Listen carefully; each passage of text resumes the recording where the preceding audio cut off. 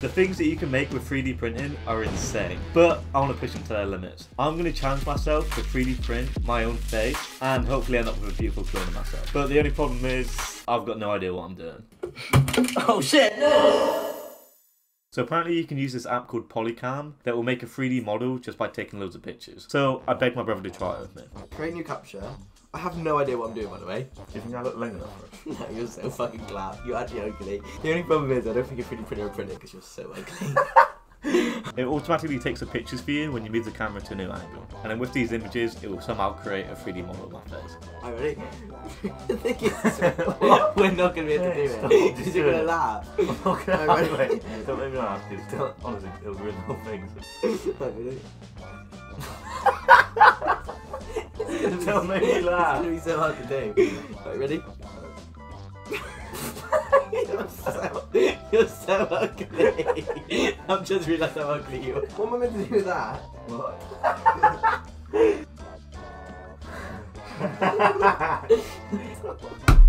just looking fucking bad.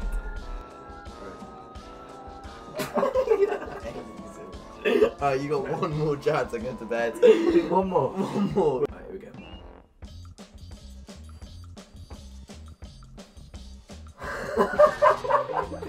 It is so good. It's the way you're waddling around it. It so Oh, that looks sick, to be fair. Yeah, Oh. Wait, second bought some fuzz in my mouth.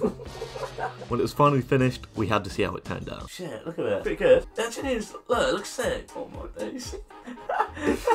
so miserable. Oh, I've just seen war crime. Oh, it's like really good and really shit at the same time. I've got fucking my own head in my head. Because it was so awful, the next night we tried again and did all we could to try and get a good scan. okay, it's done. There's 700 photos there. I'm done. 700? Yeah. Oh my god. Oh, it's came out fucking sick. Look at that. Well, it's actually come out really well. But look at that. It's done like no texture and the hair correctly. Nah, that looks sick though. Look at that. I look so depressed. so, I feel bad for myself. Oh, there you go. Look. So you can see if there's no colour with it. This is what it looks like just as a mesh. Actually, the mesh looks really good. And I reckon if I just do some touch-ups on Fusion 360, when that comes out on the printer, that's going to turn out great. I think the hair definitely needs work. If I just fix the concave eyeballs and then a little bit of smoothing, we should be pretty good, right?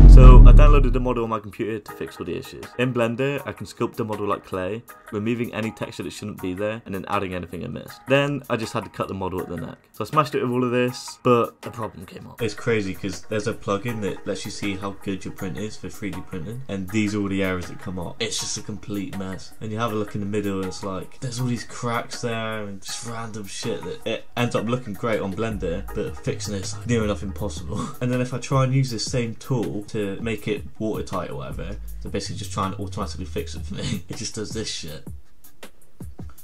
And basically completely ruins the whole model. I genuinely don't know what I'm gonna do. So I tried for ages to figure it out and thought I'll just give it a base plate and see what happens. It's doing something. Yes! It'll fucking show something to print. Yes, okay, so that's the direction then. Oh, thank fuck. So with a new secular base plate added, it was time to slice it. Holy shit, two days and 12 hours. Fuck, that's long. So this would be by far the longest print I've ever done. And I'm pretty sure my print is broken. So when it gets about halfway through the head, it's probably gonna fuck up. This is a big risk trying to do it this big, but fuck it, let's just save it to the disc. Two days and four hours is crazy. So I swapped out the filament to a bigger roll and got everything ready to start printing in the morning. I'm starting to print it now. It's fucking. The printer's broke. I've not used it in ages. Completely new filament. The biggest model I've ever printed. I don't have much faith, but we'll give it a go. And as predicted, the first attempt didn't work out. But it's fucked up there and there. It's literally way off. Oh my days. Right, I'm gonna have to start that again. Fuck.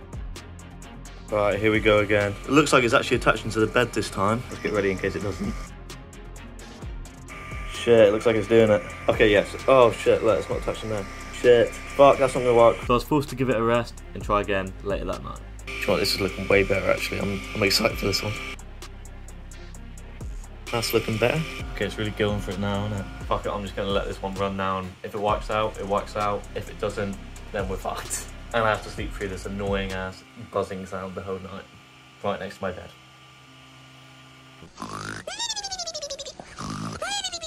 Right, so I've not had a very good night's sleep next to it, but it's getting on kind of well. Let me show you. It looks kind of nice. It's fucked up a lot here, so there's a lot of stringy bits everywhere. There are supports that were supposed to be on this side that have completely fell down and they're gone, so that could become a massive issue later.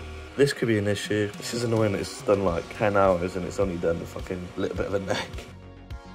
So this support is falling down, but it's somehow been alright. The ear is still printing, so I don't even think we need it. It looks a bit fucked. That ear is starting to come out now, so we're starting to see some progress of it actually working. This is red fucked, so it's like a complete mess everywhere. But somehow it's actually working out alright. I was then away from my printer for a whole day, just begging that everything was fine until I could finally check up on it again. No way. Oh, that's starting to look sick that bit's definitely messed up a little bit. When it gets to a certain height, that's where it starts to grind and then makes an indent around there. All of these supports and everything that's fell down and somehow it's still working. Crazy. Look at this guy. what the fuck? So I'm gonna have to rip this off and super glue it back on, I guess. Wow. Shit. Oh wait, it's completely come off the whole build plate. I've not attached it strong enough. All these supports are broken. All of this shit. Yeah, it's actually completely off of it. After a full two and a half days of waiting, I could finally tear away the supports and find out what it looks like. Shit, look at all that. So this stuff is really just starting to peel off easily. This is a moment of truth, really. Oh my days. Oh my days. What the fuck? It actually looks sick. Mate, now we've got two ugly motherfuckers in our house. Look at him. What a beautiful boy. Look, he's even got a fucking face tumour. Shit, look at it.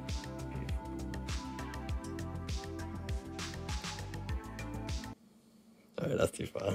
Considering my print is absolutely crap, the fact it's printed like that is amazing. Does it look like me? Unfortunately. So I actually love how it came out. I think it looks amazing. So now I just need to decide if I want to use them as a really cool headset stand, an even cooler biscuit tin, or just let the man live his life. That's my boy!